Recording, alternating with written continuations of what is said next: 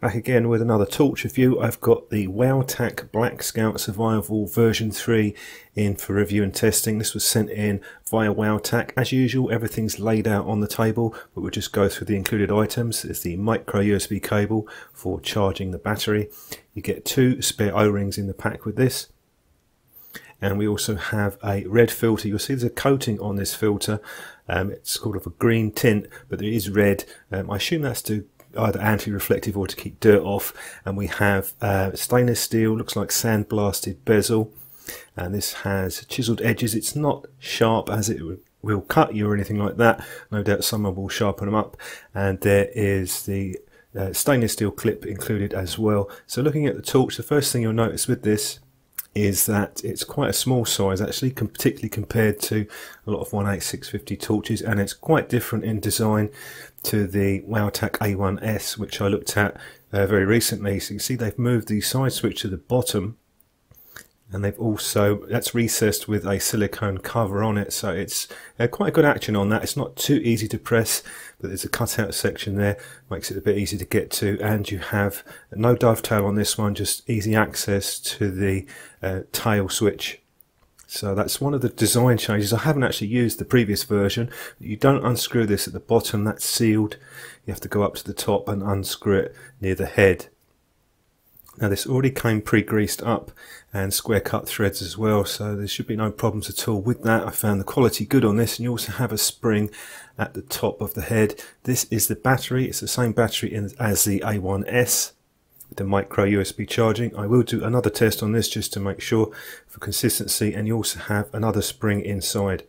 So if you want to use flat top cells with this, absolutely no problems at all. Obviously this is the one that it comes with. Then just screw it back on. Good fit on this, doesn't require too much pressure. Threads are nicely greased and the clip, just one position really for the clip. Snap that into place quite firm. Now you notice there's nowhere to put a wrist strap with this. You don't get one included but you could attach one to the clip. That's an option for you.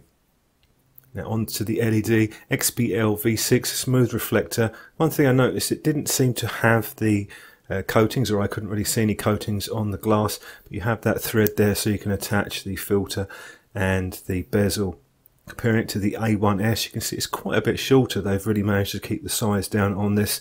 Completely different design as well.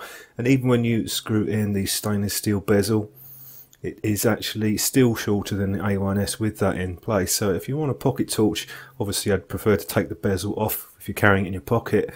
Then this one's actually quite a nice size. Locks into place quite firmly. Threads on that are good.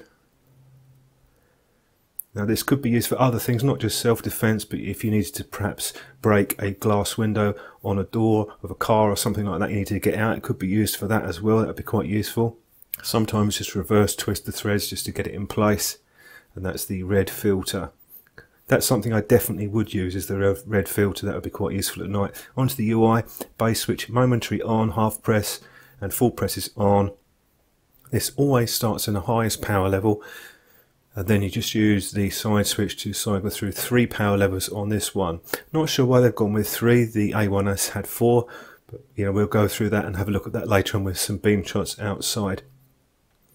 So very simple, straightforward UI with this, and if you need to get to strobe, just push in the side switch. If you push and hold it in for around about five seconds, it locks into the strobe, it keeps it on, and that works regardless of whether it's on or off, you have that instant access to the strobe. That's obviously a redesign. I haven't used the version 2, but I could see from videos that I watched it was a triple press on the base switch. So this is definitely aimed at someone who wants easy access to the strobe and it achieves that with this design. Obviously if you have the stainless steel bezel on, you'll be able to see if you've left the torch on. Downside to the design, there's no dovetail near the base cap so you can't stand this up unless you prop it up against something. So that's uh, one area to think about, whereas the A1S, you could do that. Personally, I like to have the ability to stand a torch, but that's a minor point. And you also have the flat edges, which resist rolling, even if you haven't got the clip on it. Now, just a comparison with the A1S. Now, you'll notice that the version 2, from what I can see, is very similar to the A1S. Some differences, but you have that thread on the top rather than the uh, crenulated bezel. So if you weren't um, you wanted an alternative model, you could actually look at that. It's about $10 cheaper, I think, than the version 3. The version 3 is definitely aimed at someone who wants that tactical design and the strobe, instant access to the strobe, and it works quite well. It works better than I was expecting with the switch placement, although it does take a bit of getting used So You can see here you can hold it normally and then adjust the power output with a finger. Only downside that I found is that if you've got really thick gloves, um, wool gloves or something like that, it just takes a bit more effort to find the switch position. So onto the user manual, this just lists out some of the details and specs from the three power levels. They've spaced them out quite well. Personally would have gone for four levels. There's also the details there if I've missed anything. And you see the battery came in virtually on target with uh, just under the uh, 3400 milliamps an hour. Battery test, same results that I got the A1S, so the charging speed 780 milliamps, termination a bit high at 4.23 volts, something they could look at, um, but overall decent result with the battery, easy to see with the LED indicator, going through with the A1S now on the power levels and you see because we have I'm just doing the top three settings not the lowest that we have a bit more even spacing with the power output on this. To be honest you'd be pushed to notice the difference between this and the Black Scout. Really isn't a lot of difference at all in terms of top end. Had to move the camera position slightly because of the high winds I had when I was doing the testing. Then we're up to the top. So not exactly the same but pretty much the same from a practical perspective. Now you'll notice that when I put the stainless steel bezel. I'll twist it around so you can see in the video. That does narrow the beam pattern down a bit and you do see the pattern on the outer edges. Not something that particularly bothered me, but I did want to include it just so you had that information. And the red filter, very impressed with this. You get still get a nice power output. Obviously it cuts the power down a bit, but you still get a good power output from that. Just run through a few more beam shots now and we'll come back with a few thoughts at the end.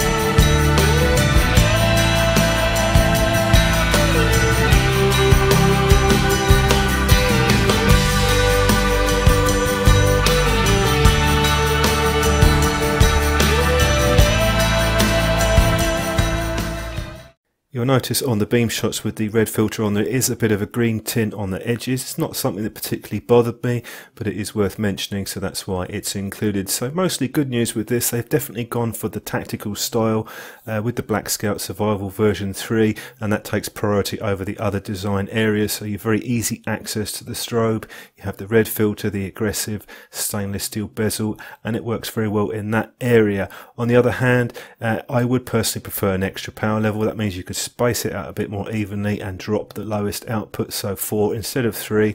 And the tactical design isn't for everyone. If you want a base standard torch or you prefer the normal position for the side switch, you might find this takes a bit of getting used to, but it did work better than I was expecting. Just uh, not quite as good if you have gloves on also would have adjusted the termination touch over the ideal 4.2 volts. So that means it will reduce the cycles on the battery. So they need to look at that area as well. So overall though it is a nice torch. I think a lot of people are going to like this particularly if you need this tactical design and the easy strobe access. Thanks for watching the video and I'll see you soon